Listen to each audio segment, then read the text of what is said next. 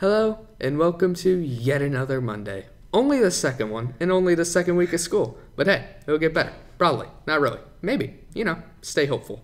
The Hamilton Big Blue volleyball team had a strong start to the season by winning the Madeira Amazon Invitational on Saturday. Woo! Mary Bunting dished out 90 sets, 4 aces, and 9 digs, while Annie Hudson ran the back court with 22 digs and 3 service aces. If you get a chance, please wish the team continued success as they travel to Badin for their next match on August 29th.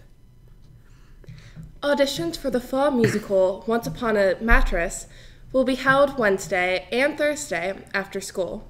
You only need to come to one day of the auditions, not both. Please prepare a one minute monologue and a song of your choosing.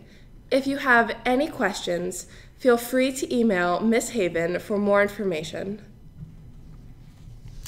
Attention, all juniors and seniors. Civic Day is an opportunity for Hamilton and Badin students to take over city government for a day.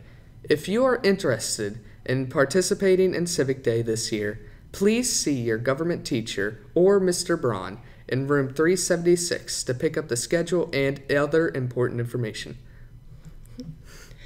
Fellowship of Christian Athletes will be starting back at HHS. We will meet in the community room in the 600 wing at 7:30 every Friday morning.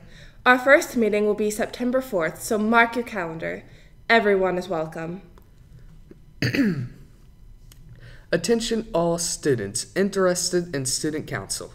Please stop by Mr. Heineke's room 625 to pick up an application.